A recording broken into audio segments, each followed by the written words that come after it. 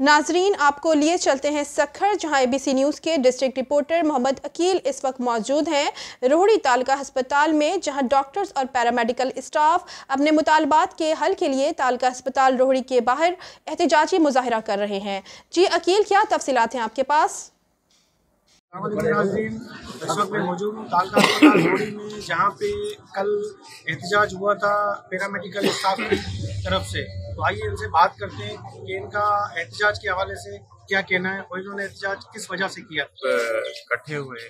आपको पता है कि डॉक्टर्स पैरामेडिक्स और हमारी जो भी हेल्थ केयर टीम्स हैं, वो हमेशा रिस्क में सबसे पहले हम पेशेंट रिसीव करते हैं। हमें नहीं पता इस पेशेंट को कौन सी बीमारी है। डेंगी हो मलेरिया हो हेपेटाइटिस बी हो कोविड हो, जो भी बीमारी आती है, हम ऑलरेडी रिस्क पे हमारी ड्यूटीज़ आप देखें फ्रंट लाइन वर्कर्स हैं फ्लड में मुहर्रम ड्यूटीज़ में, कोरोना के टाइम में हर जगह हम अवेलेबल हैं।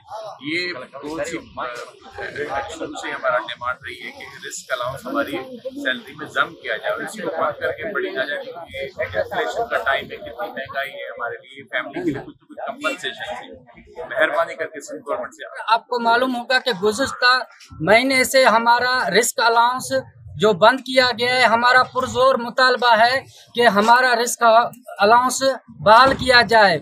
आप देखें, पंजाब में, केपीके में, बलूचिस्तान में पूरे पाकिस्तान में रिस्क अलाउंस चल रहा है, लेकिन जो हमारे सिंध वाले नाइंसाफ़ी कर रहे हैं, हम इनको नाइंसाफ़ी करने नहीं देंगे, क्योंकि हमारे सिंध वाले हमारे सिंध जैसा कि आपने सुना, डॉक्टर हजरात का कहना था कि हमने जो एहतजाज किया है, उसका, उसकी जो वजूहत है, वो ये हैं कि हमारा रिस्क अलाउंस जो है, वो बंद कर दिया गया है। और उनका जो है, आला काम से ये अपील है कि हमारा रिस्क अलाउंस जो है, दोबारा से बहाल किया जाए, नहीं तो हम शुक्रिया अकील। तफसीत से आगाह करने के लिए नाजरीन, किसी भी किस्म की खबरों के लिए विज़िट कीजिए हमारी website A B C news dot com dot P K